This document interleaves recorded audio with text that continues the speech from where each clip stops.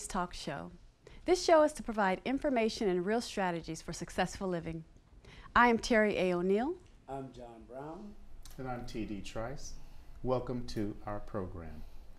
Today we'd like to talk about building credit and building a relationship that helps you manage your money so that you can have more successful living in your life. Today we have a couple of guests with us, Mike Cepeda and Liz Correct. Correct. And they are with us today to help us discuss and give us more detail about credit, building credit, starting credit, and the strategies you can use to get your foot in the door and work your way towards either getting a getting that first home or at least building your equity. And so with that, I'd like to introduce Mike Cepeda. Mike, would you tell the audience a little bit about yourself and where you work and the kind of work that you do? Absolutely. Thanks for having us here today. My name is Mike Cepeda. I work at Answer Home Loans, which is a mortgage brokerage in Roseville, California. I've been doing loan office type work since 1991, um, which I believe that makes it 27, uh, actually 28 years. That's some time. Yes, it is. I mean, you, you must have seen a lot of different situations, a lot of different details, and people have had to have presented you with so many different scenarios. How do you manage uh, when you see when you see a scenario come at you? Uh, how do you how do you handle that, or do you just know already what you have to do? Well, um, that's a great question. Uh, every credit report is different uh, because every consumer's situation is unique.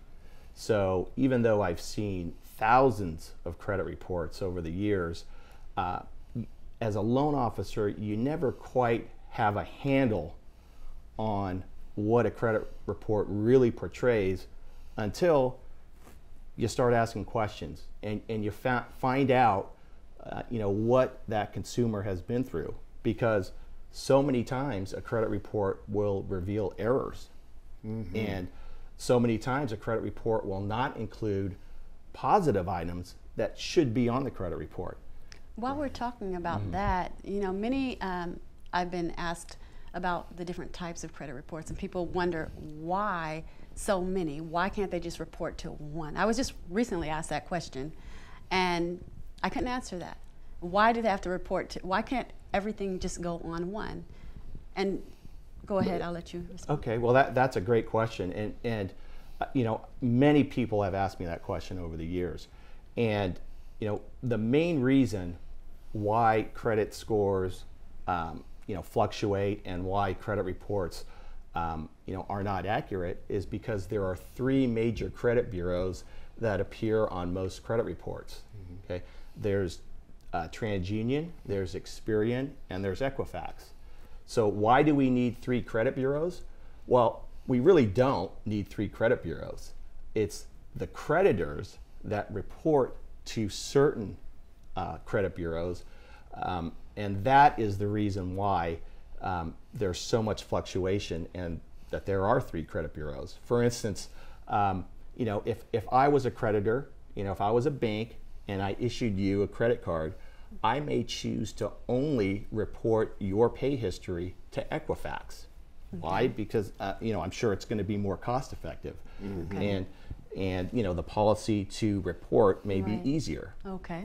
So cr- some creditors only choose to report to one, others choose to report to all three. Right. That makes sense. Right. That sounds like that. That on, in a sense, it sounds like a staffing concern for the business, and also uh, a budget concern if it's a Correct. cost for submitting the data. Yes, Right. absolutely right. And Liz, Well, I'd like to bring you into the conversation. Okay. Uh, would you tell us a little bit about yourself and where you work and what you do? Um, my name is Liz Carret. I am a realtor. I work with Century 21 M&M, which is here in Sacramento, and um, I've been in. I've got my real estate license in 1992. That was All right. 27 years ago, and I can uh, always remember because my oldest son is 27 years old.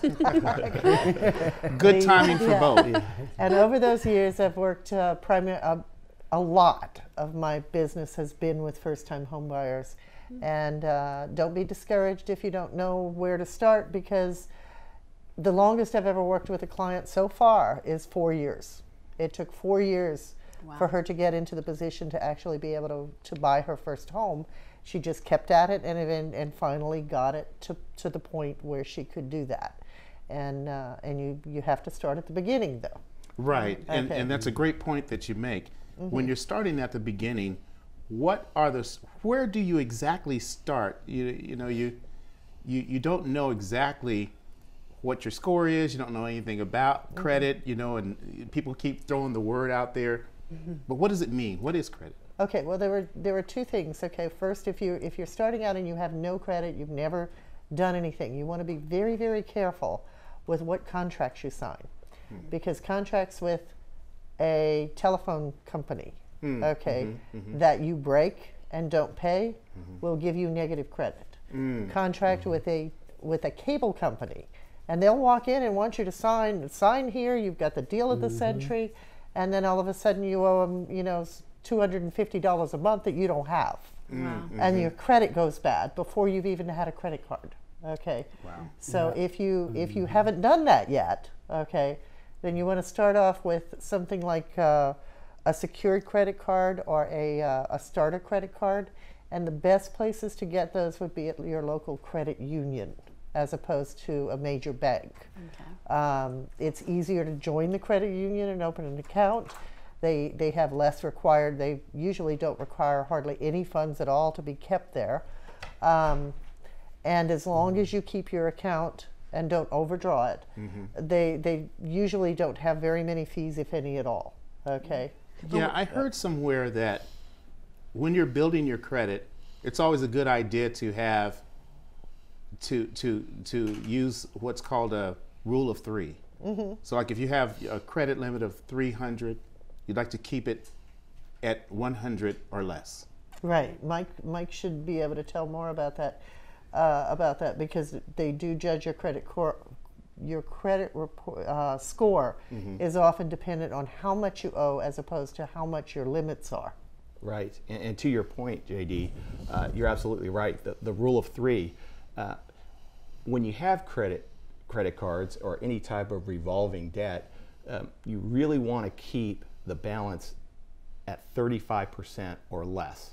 So, um, you know, you mentioned you mentioned uh, $300 as the limit. You know, you, you do want to keep it at around $100 or less um, because once you reach the threshold of more than 35%, that's when your credit can be affected negatively. So, um, you know, you, you can have a, a credit score somewhere in the 600 range, which is which is okay. You know, that's not bad. But if you're really trying to get it up towards 700, which is really considered excellent, then you want to keep those revolving uh, debts down. So, how can you? Oh, I'm sorry. Go ahead. Oh, John. yeah. It's, uh, thank you, TD, for letting me in. You get on in. yeah. Uh, but, you know, uh, I know for a fact that a lot of people have credit scores, let's say, uh, 560 or 580, maybe 600. Now, tell the audience, with that credit score, can you work with them? Absolutely, and and Liz Carret and myself, we've both worked with many many folks who have scores below 600, um, even uh, people who have scores you know sub 500. Jeez. Uh, and um, you know the the truth about those types of credit scores is that um, if you have a credit score that's about 500, 550 in that range, uh, it's likely that you won't be able to buy a house today. But there are many things that can be done to get that score increased up in the mid 600 range, um, up towards 700. which is where you really want to be. And um, you know, like Liz Liz mentioned, sometimes we work with clients for many years just to help them reach that point. So um, every situation is different. Uh, you know, somebody who has a 550 score, uh, they may be able to to get that score increased within maybe a couple of months depending on their situation, depending on their financial situation. They may have uh, some collection accounts on the credit, and maybe they're not in a position to pay that off right away. You know, maybe they need to negotiate to pay that off. May take a couple years to do it. Okay, so it, you know, different situation every time. So some ways, go ahead. Uh, and that that I don't know uh, if it's a myth or what.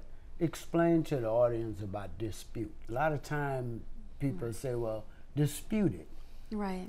So, what happens before you buy a home and you have disputes on your credit? What you have to do?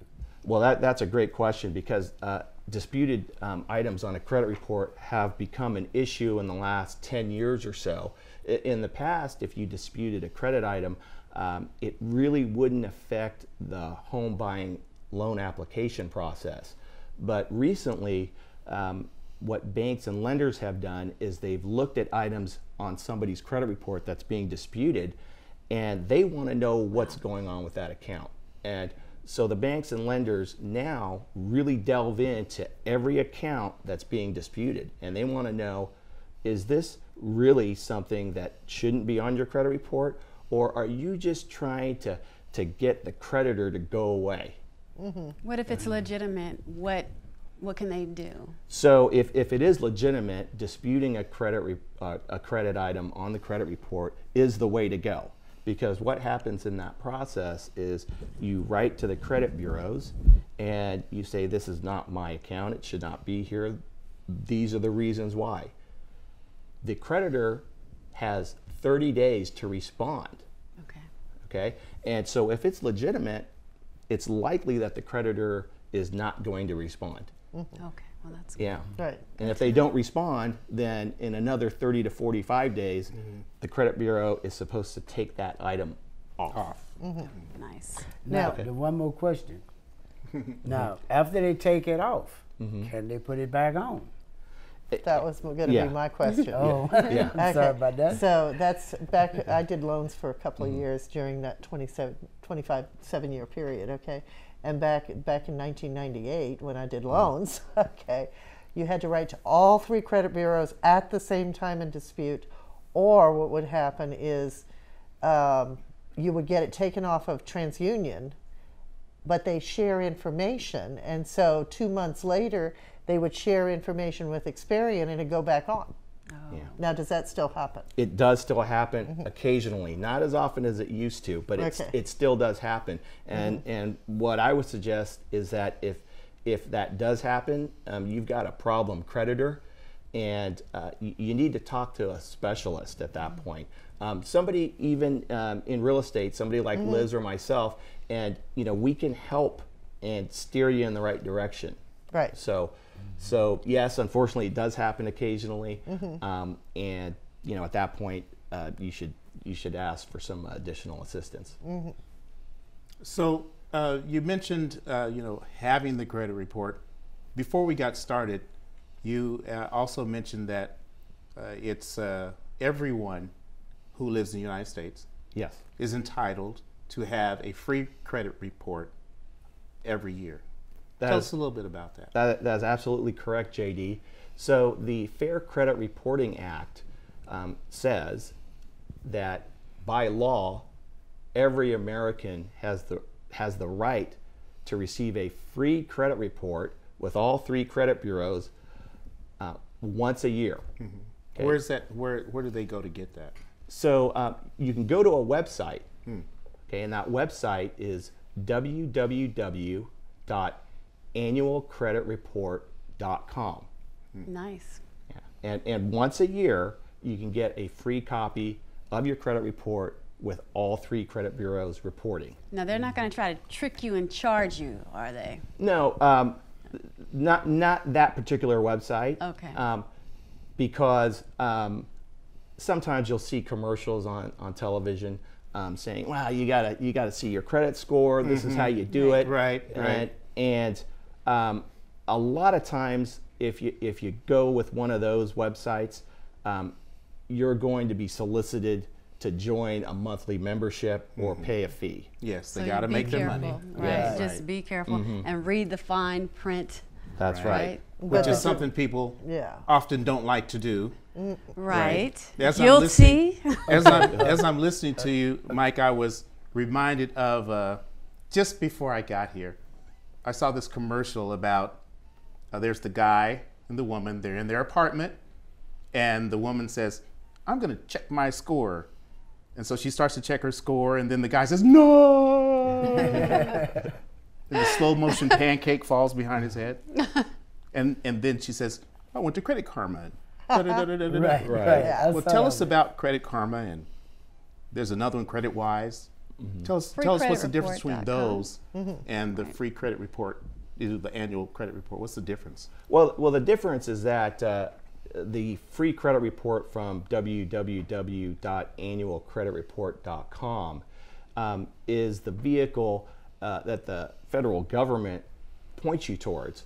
Okay, so so there's no hidden agenda um, because uh, uh, free credit re- or annualcreditreport.com um, is just there so that every consumer can see their credit report. Whereas um, Credit Karma, although you know Credit Karma and Credit Wise do a lot of good things, you know they're also in it for the marketing purpose. I mean the money. I mean it is a profit-making company Right. that issues you know those credit reports and and they do have some good suggestions on how to get that credit score increased and whatnot but um, in the very beginning if mm-hmm. like if you don't have any idea what your credit score looks like why mm-hmm. not get the free one and not get solicited Right. Right. Right, because because those things I was telling you earlier, they sign a contract for uh, cable, you sign a contract for a telephone. It's the same thing when you sign a contract through Credit Karma because I, I use Credit Karma. Mm-hmm. Okay, just to see if it's going up or down. I know it's not as accurate as Mike's credit report, but. Uh, they, they always are telling me to get a credit card, okay, Right. and those have annual fees and they have high interest rates. They're always trying to get me to join um, something that'll make sure that you know that'll that it will track my credit and keep me from getting identity theft kind of thing. But they want they want money for that, okay, and I don't need to pay for that, Yes. okay. Now let, let's say uh, uh, it's, it, this question is directed to either one of you all that want to answer it. Um, you take a person, you know, that done been divorced, and they're trying to get their credit back together. Tell tell us some of the steps that they can uh, get their credit back together because sometimes you know you got a husband, they both of y'all on the credit, the husband and went out and or the wife then went out and ran everything up or whatever. So you know, I- explain how you can get back on the right track. Well, you know, the, the divorce situation is is complicated when it comes to credit reports and credit scores because when you are married and you apply and sign a contract jointly with your current spouse, um, your name is on that application.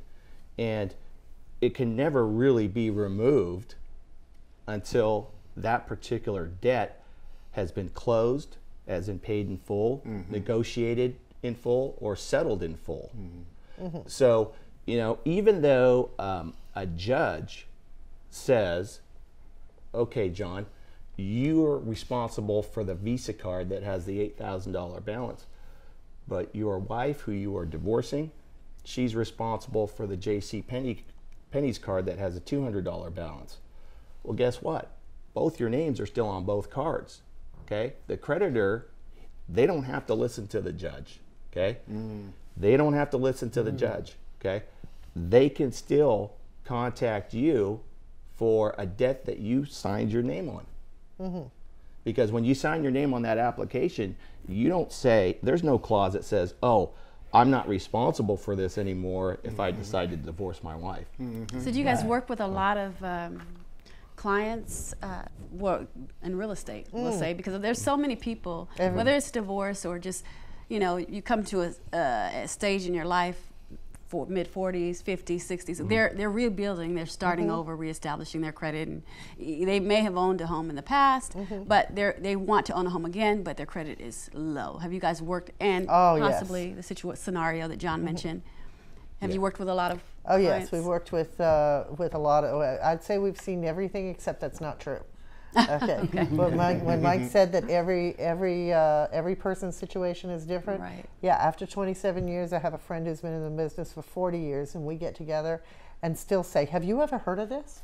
Oh, mm. Okay. wow. Mm. And it's the same with credit. Mm-hmm. Okay, so we can't we can't give you specific Right. information, but the first thing you want to do is see that credit report, mm-hmm. the real one, Right. Mm-hmm. not the credit karma, not the um, the Credit wise or credit wise, but the one from annual credit uh, annualcreditreport.com. Is that correct? That's right. Okay. Um, and, and then go from there. And you can talk with a, a realtor who has experience with loans or a loan officer to see what to do about that. You can call those creditors and try to negotiate those. You don't necessarily have to pay them the whole amount. You can ask them if they will settle for a smaller amount. Okay? You can, uh, if it's too overwhelming, bankruptcy may be a better option for you. Sometimes bankruptcy looks better on a home loan than, um, you know, it's it. Sometimes it just works better because two or three years from now you can apply for a home loan, and if you built your credit after the bankruptcy correctly, then you'll have that good credit score. Wow, that's interesting because a you lot know, of people have a sometimes fear. it's better to pay them off and to work without the bankruptcy. Sometimes it's better to go with the bankruptcy, and that's where you you know you want to get counsel from uh, a credit counselor or a, a, a loan officer, a credit counselor, or a uh, the the credit uh, the people who help you fix your credit. Now, what is the uh, the biggest problem that you guys have a, encounter on uh, on getting people homes? What is the what is the biggest problem? Is it um, you know lack of inventory, or what? Down lack of income. lack of income? I, you know, I, I would say that it is credit history hmm. mm-hmm. that is the biggest problem mm-hmm. in an applicant getting qualified mm-hmm. to purchase a home. because they haven't proven over that they can make regular payments over time, Correct. which is what credit is. Correct. And what about the FICO score? Because FICO? Yeah, the FICO score. What? Yeah. What? A, what is that? Could you explain that briefly? Uh, I, I thought FICO was uh, French, Indian, Chinese originals. People, Every time I hear wanna- FICO, I'm like, well, what's that supposed to mean? You know, Right, right. Ford, uh, incomes charged over. Uh, but really, what's It's a what's foreign FICO? language, right? Yeah, It's what like is- f- what right. what does FICO stand for, and what is FICO? You want to take that, Liz? Or? I, I don't know what it stands for. Mike, but do you I have know an I know what what it that is. Okay. Well, well, you know, Uh-huh. yeah, over the decades of looking at FICO scores, um, I, I, I can honestly say that I don't know what FICO You don't know what the for. acronyms for. Yeah, I didn't. I don't either. Yeah, It's it's an interesting. We'll have to get the answer to that for Okay, you. we'll we'll look that up, and then we'll put it on a lower third for you And that- guys, so that that you can see what the show- abbreviation yeah. is. Yeah.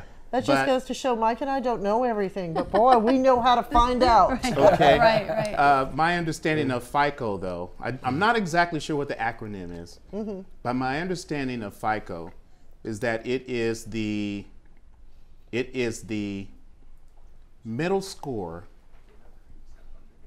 Your your middle score from the three Right. credit bureaus. That's correct. So they take a score from Experian, from TransUnion, from Equifax, Correct. and that middle score is your FICO score. All right. That's it. Okay. That's In other words, what you're saying, you got um, a 600, a 700, And a 650, and a 650. So what are they gonna go with? The 650. the 650 is your Okay. FICO score. all right. That's what they're going to count when they look at your mortgage. That's uh, absolutely your mortgage correct. application. That's absolutely correct. And and FICO, um, even though we don't know what The it stands acronym, for, exactly. um, it is actually um, the score that uh, Experian calls their scoring model. Equifax calls their scoring model Beacon, and TransUnion calls their scoring model Empirica. But over time, everybody got used to saying FICO because that was the easiest one to remember. So it's the Kleenex of credit scores. It is the cleanest. Okay. Yes, there you go. There you go. So, um, but but in essence, it, it doesn't matter what what bureau calls what score. It, it's it's a collection of you know what shows up on your credit report. A combination of um, do you make your payments on time? Um, do you have low balances on your revolving debt? Um, do you have collection accounts? And um, do you have um, a mix of credit accounts? So you have some revolving um, credit cards on your credit report, but that's it. Okay. Well, you know these these um, credit bureaus they want to see that you've got um, something else, like an installment account. A car loan is an installment account.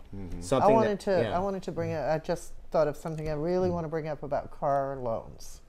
One of the hardest things for people to correct on their credit report is a for uh, uh, uh, a repossessed car, because when when the car company repossesses that car, no matter what they tell you when you give them the keys, they rarely sell the car for the amount that you owe. And if you owe them twenty thousand dollars and they only sell the car for 10 mm-hmm. you now have a ten thousand dollar repossession collection on your credit report, and that's really hard to get off because it's a lot of money and you have nothing for it.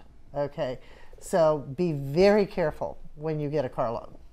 Very That- good Good point, to Yes. know. Liz. Good to Okay. Thank you for that. That's one of the most difficult. With a bankruptcy, you just wait. Okay. Okay, and you do good in between. But with that, that if you don't want to do a bankruptcy, that car repossession, have you found the same thing, Mike? oh yeah. Yeah.